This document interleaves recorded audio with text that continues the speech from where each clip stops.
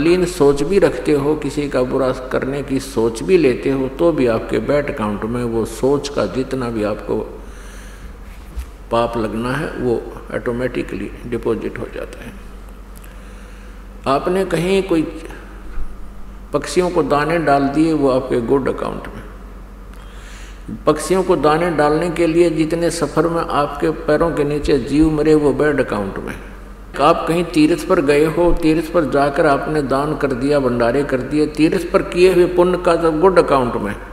और तीर्थ तक जाने के जो पाप आपके पैरों के नीचे, जितने भी प्राणी मरे जीव जंतु मरे, वो आपके बैड अकाउंट में। इस प्रकार ये दोनों अकाउंट आपके बराबर चलते रहते हैं। और परमात्मा का विधान है कि जैसा कर्म जो कोई करता है, उसको वैसा ही भोगना भी पड़ता है। अपने आत्माओं, जब हम पूर्ण परमात्मा, सत्य पुरुष कबीर देव जी की शरण में और इस सत्य नाम का जाप करते हैं, पूर्ण संत से प्राप्त करके। तो उस समय बैड अकाउंट बंद हो जाता है। वो कैसे हो जाता है? जैसे किसी ने लाइसेंस बनवा रखा, ड्राइविंग लाइसेंस, चालक प्रमाण पत्र, और वो सड़क से जा रहा है या कहीं भी रास्ते में जा रहा है उससे कोई दुर्घटना हो जाती है, वो 90 प्रतिशत बरी होता है। क्योंकि उसने जानबूझकर एक्सीडेंट नहीं किया, क्योंकि वो ट्रेंड आदमी है, उसके पास प्रमाण पत्र है। तो उससे कोई दुर्घटना में कोई गड़बड़ हो भी जाती है किसी कारण से तो उस वो दोषी नहीं होता। कारण कोई और हो सकता है, कोई ब्रेक फेल हो जाए स्टेयरिंग फेल हो जाए कोई और भी कारण हो जाए सामने वाले की गलती से भी एक्सीडेंट हो सकता है। इस प्रकार वो लाइसेंस शुदा व्यक्ति उस दुर्घटना में दोषी नहीं होता। और जिसके पास लाइसेंस नहीं है और वो गाड़ी चला रहा है, उससे कोई दुर्घटना हो जाती है। तो सबसे पहले जो अधिकारी होते जाँच अधिकारी यही देखते हैं कि लाइसेंस है आपका। लाइसेंस नहीं है तो फिर उसको सीधा ही सजा होती है, उसका कोई प्रोटेक्शन नहीं होता। तो इसी प्रकार जब तक आपने लाइसेंस नहीं बनवाया है, आप साधना कर रहे हो, यानी गुरु नहीं बनाया है तो आप जो भी कार्य कर रहे हो, पुण्य या पाप, आपसे हो रहे हैं तो आप, क्योंकि लाइसेंस ना होने से आप उस शुभ काम के लिए जा रहे हो, बीच में आपका एक्सीडेंट से आपके पैरों के नीचे जो भी जीव हिंसा होती हैं, वो आपको भोगनी ही पड़ेंगी, क्योंकि आपके पास लाइसेंस नहीं फिर आप कहोगे कि लाइसेंस तो हमने बनवा रखा है, क्योंकि गुरु बना रखे हैं, जैसे कोई राधा स्वामी से उपदेशी है, कोई सच्चा सौदा डेरा से, सिरसा से उपदेशी है, कोई ब्रह्मा कुमारी वालों से उपदेशी है, कोई अन्य किसी संत या पंथ से जुड़ा हुआ है। तो वो नकली पासपोर्ट बना रहे, वो नकली ड्राइविंग लाइसेंस बनाते हैं, वो अधिकारी नहीं है, वो संत नहीं है। अपने आत्मा, ये आपके दिल में एक बार खटकेगी ये बात कि वो नकली गुरु हैं। ये तो आपके उस अज्ञान का ही कारण होगा, जिस कारण से आप ये महसूस करोगे कि संत सबको नकली बता रहा है। नकली और असली मेरे कहने से नहीं होंगे। उनके जो चिन्ह हैं, लक्षण हैं, वो बताएँगे कि वो असली है या नकली है। और उनके सब के जो दास ने ये लक्षण बता दिए हैं कि ये संत नहीं है। इनसे जिनको उपदेश है, उनका लाइसेंस अनएथोराइज्ड है। और फिर जब यहाँ से संसार छोड़कर जाओगे, वहाँ पर इन गुरुओं से उपदेश लेने से आपको कोई प्रोटेक्शन, कोई बचाव नहीं होगा। उसमें बहुत देर हो चुकी होगी। आपको वहाँ पश्चाताप और रोने के अतिरिक्त कुछ नहीं मिलेगा। दास का ये उद्देश्य नहीं है कि मैं किसी की क्रिटिसाइज करूँ, आलोचना करूँ, लेकिन परमेश्वर ने इस दास को यह सेवा दे दी कि सच्ची कहूँ, सत्य कहूँ, ताकि पुण्यात्मा सावधान हो जाए और उन नकली गुरुओं से वापस आकर के अपना जो ना सच्चा लाइसेंस बनवा ले और इस जीवन रूपी सफ़र में वो आगे बहुत चलना है, उसमें अपना बचाव करें और सफलता प्राप्त करें। राधा स्वामी पंथ ने सबसे ज़्यादा जीवों को घेर डाला ये काल का पंथ है। क्योंकि जहाँ से ये पंथ चला है, उसका कोई गुरु नहीं। श्री शिवदयाल जी आगरा वाले उन्हीं की जीवनी में लिखा है कि स्वामी जी का कोई गुरु नहीं था। और परमेश्वर की अमृत वाणी में सचिदानंद घन ब्रह्म की वाणी में, और सभी संतों ने जिन परमात्मा पाया है, उनके अमृत वचनों में ये स्पष्ट किया है कि गुरु बिन माला फेरते गुरु बिन देते दान गुरु बिन दोनों निष्फल हैं, चाहे पूछो वेद पुराण। अब गुरु नहीं जिस व्यक्ति का तो आगे चल के वो बहुत दुख पाता है। क्या होता है कि पिछले पुण्य इतने होते उन पुण्य आत्माओं के, जो पुण्यात्माएँ किसी गुरु पद को प्राप्त कर रहे हैं, कोई संत बन गया है, ये काल का जाल है।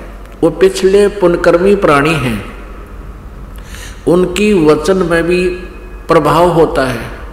उनके बोलने की शैली में भी बहुत एक आम व्यक्ति से अंतर होता है। और जिस कारण से वो अपने पिछले पुण्य से, पिछली चार्ज बैटरी से, पिछले जन्म की सिद्धियों से वो बहुत सी जनता को अपने पीछे तो लगा सकते हैं, लेकिन अंत अनुयायियों का भी और स्वयं का भी बहुत बुरा होता है।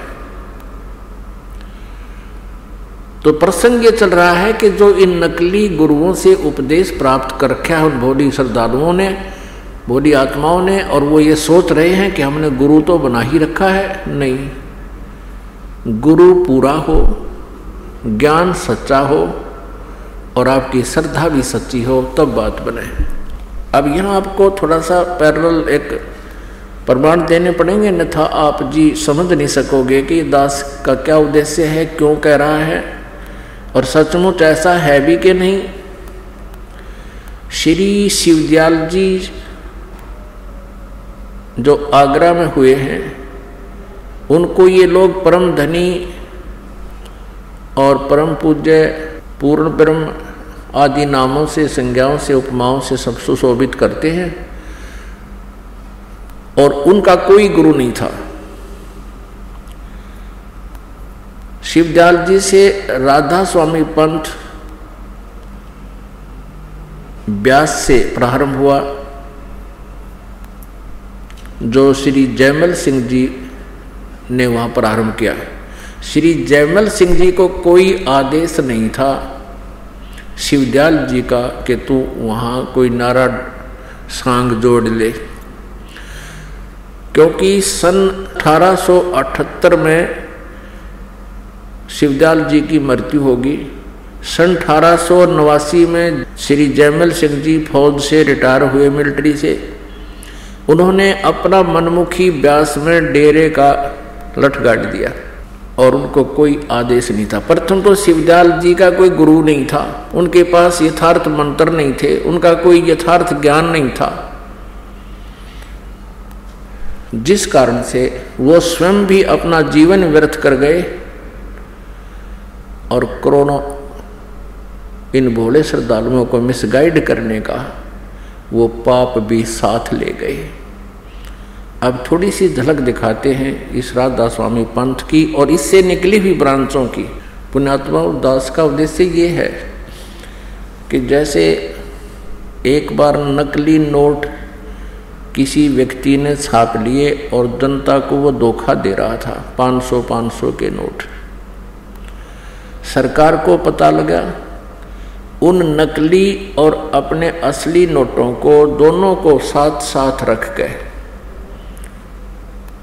और जनता को सावधान किया कि ये नकली है, इसकी ये पहचान है, ये ओरिजिनल है, इसकी ये पहचान है।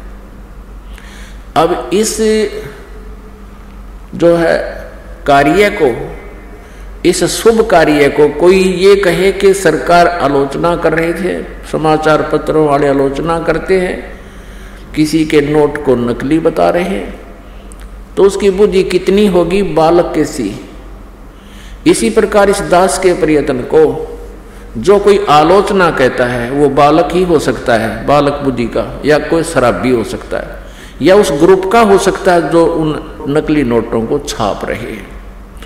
तो जो ये समझदार होगा, ये समझ जाएगा कि ये देखिएगा नकली और असली में कितना अंतर है तो फिर वो अपने हानि से बच जाएगा और अपना नकलियों को फेंक देगा, असली नोट प्राप्त करेगा, उस वो निर्धन नहीं होगा, हानि ना होगी। पहले तो थोड़ा सा मौखिक बताते हैं इस पंथ के बारे में। श्री शिवदयाल जी, ये एक खत्री परिवार से थे और आगरा में रहते थे। इनके घर पर इनके माता पिता जो थे, वो श्री तुलसी साहेब हाथरस वाले के शिष्य थे। और ये शिवदयाल जी भी उस तुलसी साहेब हाथरस वाले के वचनों को घर पर सुना करता था। फिर ये क्योंकि ये पश्चिमी पाकिस्तान में इनका घर था और वहाँ गुरु ग्रंथ साहिब की बहुत वाणियाँ चला करती थी तो ये गुरु ग्रंथ साहब का पाठी भी रहा है। और आगरा में गुरुद्वारा था, उसके अंदर निर्मले साधुओं का जो नानक साहिब जी के पुत्रों ने निर्मलापन चला रखा उस गुरुद्वारे में जाकर के ये वहाँ वाणी पढ़ा करता था और उस संत था एक, उस गुरुद्वारे में उससे भी ज्ञान प्राप्त किया करता था। उससे शब्द और सुरत का इसने ज्ञान सीखा, जैसा उसने पता था। फिर कुछ अपनी अटकल, कुछ दूसरों से सुना सुना खिचड़ी ज्ञान ये स्वयं भू संत बन बैठा। उसके बाद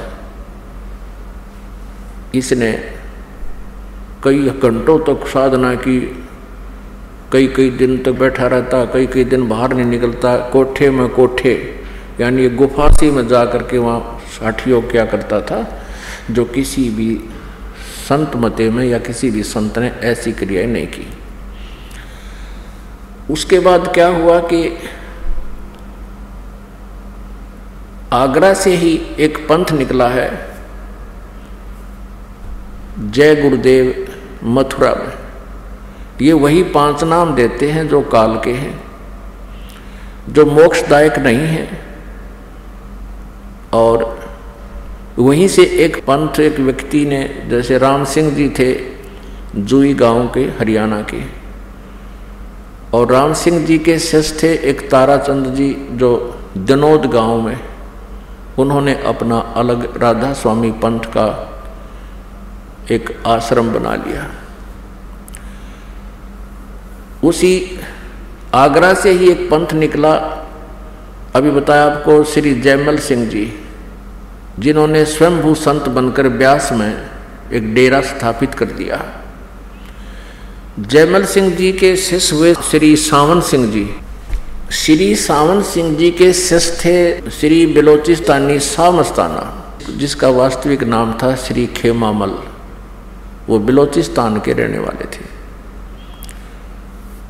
और एक कृपाल सिंह जी, ये दोनों शिष्य उत्तराधिकारी समझते थे, अपने को श्री सावन सिंह जी के उत्तराधिकारी समझते थे।